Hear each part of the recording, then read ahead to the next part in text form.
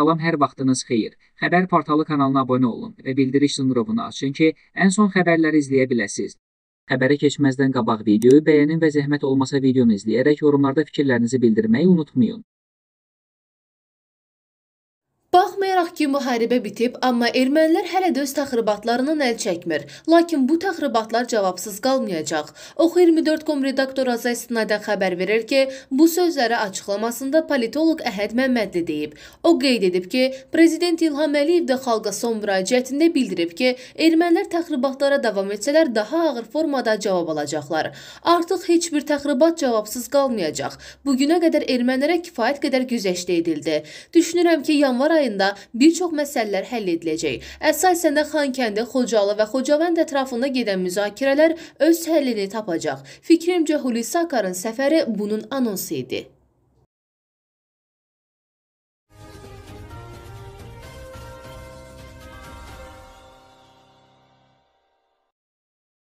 Qarabağdakı ermənilər sənədlər hazırlayır, xarici dilləri öyrənir və pandemiya üzündən bağlanmış sərhədlərin açılmasını gözləyirlər.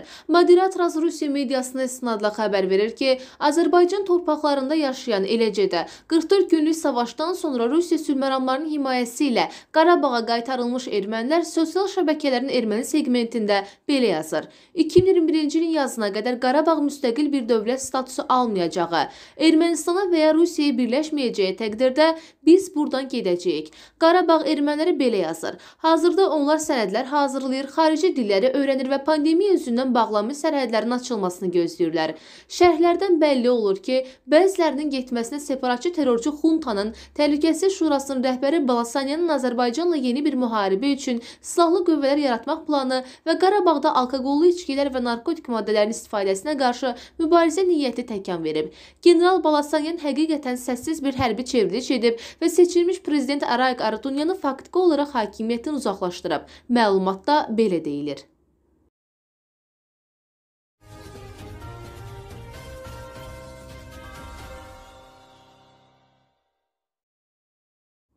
Rusiya Müdafiə Nazirliyinin beynəlxalq ərazilərin minalardan təmizlənməsi mərkəzinin mütəxəssisləri Dağlıq Qarabağda 400 hektardan çox ərazidə 16 mindən çox partlayıcı vasitə aşkar edərək zərərsizləşdiriblər. Ox24.com xəbər verir ki, bu barədə Rusiya Müdafiə Nazirliyinin məlumatında deyilir. Əməliyyat zamanı Rusiya sülhməramlı qüvvələrinin mühəndis bölmələri tərəfindən Dağlıq Qarabağda 400 hektardan çox ərazi, 151 kilometr yol, 617 bina, o cümlədən 22 sosial sosial əhəmiyyətli obyekt minalardan təmizlənib.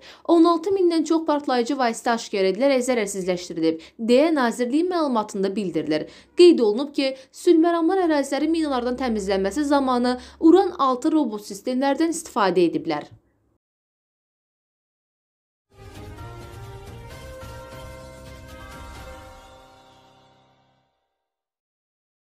Koronavirusa qarşı peyvənd işlərinə artıq başlanmasına baxmayaraq qarşıdakı aylarda pandemiya daha da arta bilər.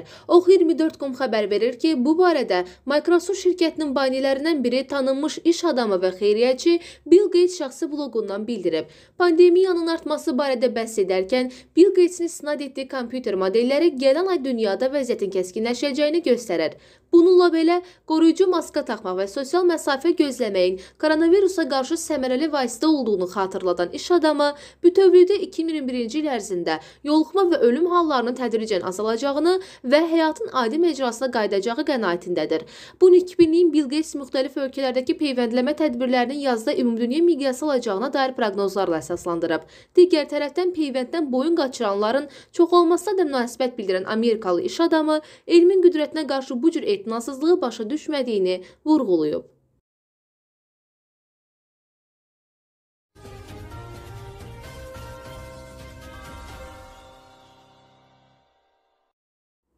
Polad Həşimovun ad günü idi. Yaşasaydı 46 yaşı tamam olacaqdı. Subyektiv fikrimdir ki, koordinatorları düşmənə məlum idi.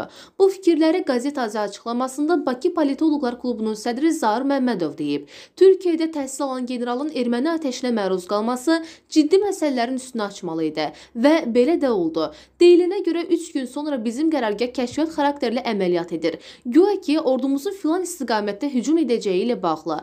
Bu plandan xəbər tutan ermənilər cəld şəkildə şəkildə bizim dezinformasiyada yaydığımız hücum nöqtəsinə müdafiə istehkamları qururlar. Beləliklə məlumatın hansı yola sızılması deşifr olunur. Türklərlə bizim birgə əməliyyatımız nəticəsində bir çox avadanlıqlarda qulaq asma və sair kimi alətlər aşkar edilir. Həmçinin cəbhə yanı bölgələrdə düşmənə işləyən həkim, çoban, hətta yeniyetmə də tapılır. Xatırlayırsınızsa Tovuz hadisələrindən sonra 5-ci kolonun bəzi nümayəndələri çox arxayın görünürdülər. Hətta onlardan biri özündə cürət taparaq siyasət haqqında dərs keçməyə də çalışırdı. Lakin Azərbaycan dövləti xarici dövlətlərin məkirli planlarını alt-üst etdi, deyə politoloq bildirib. Sentyabrın 27-si müharibə başlayanda Rusiya və Ermənistanın ölkədəki agenturası artıq ifşa olunmuş və oyundan kənar edilmişdi. Əvəzində isə əks cəbhədə kifayət qədər uğurlu kəşfiyyat gedişləri getdik. Bu tədbirlər müharibənin nəticəsində dəyişdi. Polad Həşimov şəhid oldu. Bu ölüm bəzilərinin sonu oldu. Az qaldı dar ağacı cəhənnəmə gedənləri gözləməkdədir. Dar ağacı digər satqınlar üçün dərs olmalıdır, deyə Zaur Məmmədov əlavə edib.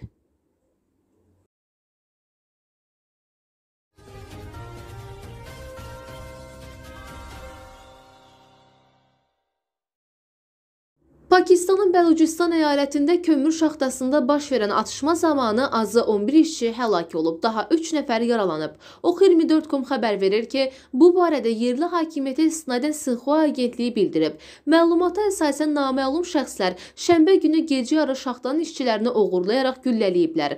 Yaralılar xəstəxanaya çatdırılıb, onların vəziyyəti haqqında məlumat verilmir. Qeyd edilir ki, hadisə ilə bağlı təhqiqat aparılır. Hücuma görə məsuliyyəti hələ heç bir qruplaşma üzərinə götürməyib.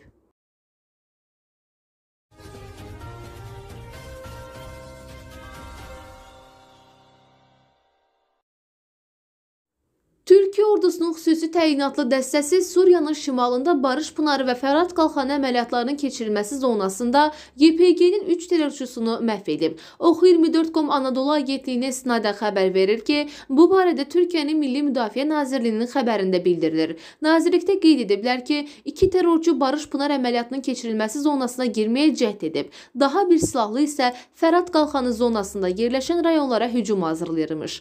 Xatırladaq ki, PKK terrorçuları Onları 1984-cü ildən Türkiyədə bir sıra terror aktları həyata keçirirlər. Bu qruplaşmanın terror aktları nəticəsində Türkiyədə təhlükəsizlik orqanlarının 7500 əməkdaşı və 6800 dinc sakin həlak olub. ABŞ və Avropa İttifaqı PKK-nın adına terror təşkilatları siyahısına salıb.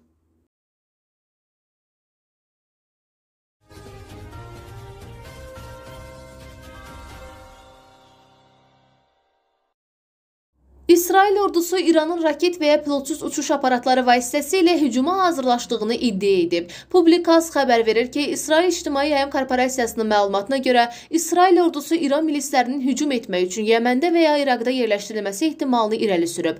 Məlumatda İranın başqa bir ölkə vasitəsilə İsrailə zərər verməyə çalışacağı və bu ölkələrin İraq və ya Yəmən ola biləcəyi iddia edilib. İsrailin baş qərargah rəisi Aviv Koçavi nüvə alimi Möhsün Fəxrizadənin ölümündə ölkəsini məsul tutan İrana İrana 22 dekabrda xəbərdarlıq etmişdi. O, İran və onun radikal tərəfdaşları İsrailə qarşı hər hansı addım atsalar, bu onlara çox baha başa gələcək deyə qeyd etmişdi.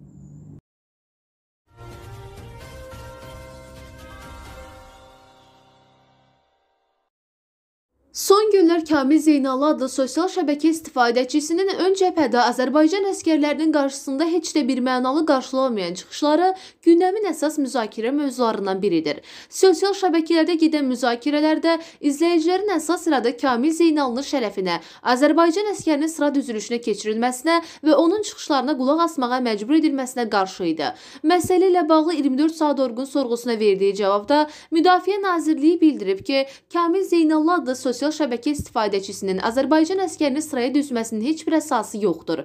Nazirlik həmçinin bildirib ki, adı çəkilən şəxsin Azərbaycan ordusunda heç bir vəzifəsi yoxdur və o əskərləri sıraya düzmək üçün heç kəsdən icazə almayıb. Müdafiə Nazirliyi sosial şəbəkə istifadəçisi olan digər şəxslər də istədikləri zaman əskərimizi sıraya düzə bilərmi sualımıza da xeyir cavabını verib. Xatırladaq ki, son günlər Kamil Zeynallı həm də Azərbaycan əskərini sıraya düzərək müxalifətçi liderlərdən olan Tofiq Yaqub Yaqubunun da ünvanına təhqiramiz ifadələr işlədib.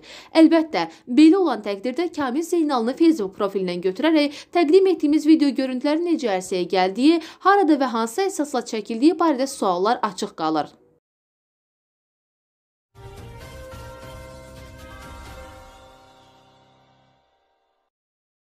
Erməni hərbi əsirlər Ermənistana qaytarılmalıdır. Bu dərhal və hər hansı bir ilkin şərt olmadan həyata keçirilməlidir. Onlar statusa görə hərbi əsirlərdir. Ermənistanla Buçmanı Armand Tatoyan yanvarın 2-sində Facebook səhifəsində yazıb. Yeni Sabahaz bildirir ki, onun fikrincə Azərbaycan prezidenti İlham Əliyevin erməni hərbiçilərinin çoxu hərbi əməliyyatlar dayandırılandan sonra həbs olunub və onlara hərbi əsirlər hesab etmək olmaz bəyanatı humanitar prosesin və insan hüquqlarının müdafiəsi üzrə beynəlxalq tələblərin pozulmasıdır. Dekabr Noyabrın əvvəlində Ermənistan və Azərbaycanın hamının hamıya prinsipi üzrə hərbi əsirlərin dəyişdirilməsi məsələsini razılaşdırıblar. Dekabrın 5-də Ermənistanın baş naziri Nikol Paşinyan telemüraciətində bildirib ki, Dağlıq Qarabağ münaqişə zonasında əsirlərin mübadiləsi zamanı hamının hamıya prinsipi Azərbaycanla razılaşdırılıb. Bu təkcə müharibə zamanı əsir götürülənlərə deyil, həm də ona qədər Ermənistan və Azərbaycan tərəfində qalanlara aiddir. Paşinyan deyib, baş nazir qeyd edib ki, gələcəkdə barələrində məlumat ola biləcəyi əsirlərin qaytarılması üçün mexanizmlərin hazırlanması vacibdir.